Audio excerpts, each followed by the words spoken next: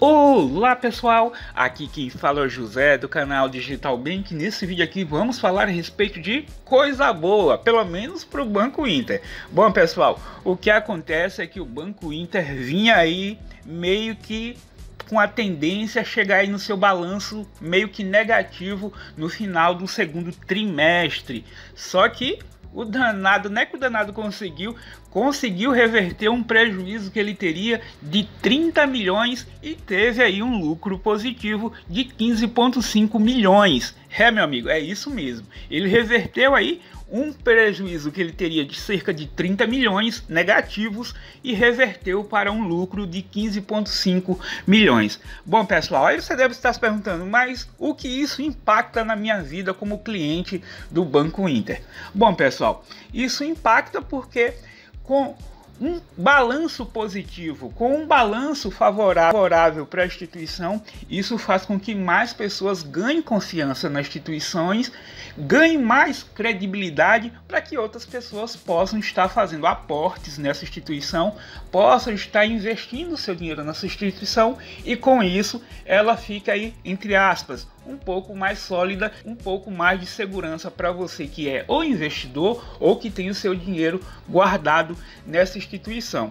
Relacionado a crédito, pessoal, eu sempre disse aqui no canal e sempre vou dizer aqui no canal. O Banco Inter, ele tem crédito sim, tem crédito imobiliário, tem crédito é, de cheque especial aí, no entre aspas, tem seus cartões de crédito, mas o Banco Inter não é um banco que gosta de trabalhar com crédito.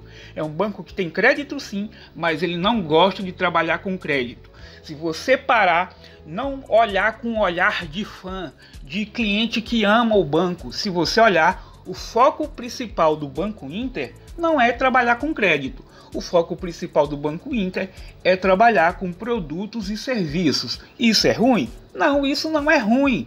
Isso é bom, até porque cada banco escolhe a forma de trabalhar. Ele escolhe trabalhar assim, o banco digital X escolhe trabalhar de outra forma e assim por diante. Se essa é a fórmula perfeita para ele e ele vê que está dando certo assim, ele tem mais que seguir assim, até porque ele é uma empresa e como qualquer empresa ela tem que dar lucro, principalmente não só para a própria instituição, como também para quem tem dinheiro investido, tem dinheiro aportado no Banco Inter. Então, eles estão mais que certo desse segmento. Agora é aquela coisa, tem pessoas que acabam se tornando cliente da instituição financeira esperando linhas de crédito. Acredito que quem vai entrar numa instituição financeira dessa deveria dar uma pesquisada antes, como que é o acesso ao crédito em determinada instituição, porque já cortaria aí o caminho de você entrar na instituição e dizer: "Ah, tá demorando muito para liberar o crédito para mim". Uma outra coisa que o Banco Inter é é muito rigoroso no acesso ao crédito. Tem pessoas que podem passar bastante tempo para conseguir crédito, já tem outras que entram praticamente que de cara já conseguiu aí algum tipo de linha de crédito. Então acredito que esse acesso ao crédito depende muito de pessoa para pessoa. Agora que ele tem uma tendência mais a ser focado em produtos e serviços e marketplace, isso ele tem. Então, pessoal, é aquela coisa. Outros bancos, depois que viram que o Banco Inter também focou muito nessa parte do marketplace, você veja que hoje praticamente todo banco digital tem um marketplace embutido. Independente de ser menor que o Banco Inter, o marketplace ou não, mas tem praticamente que parecido.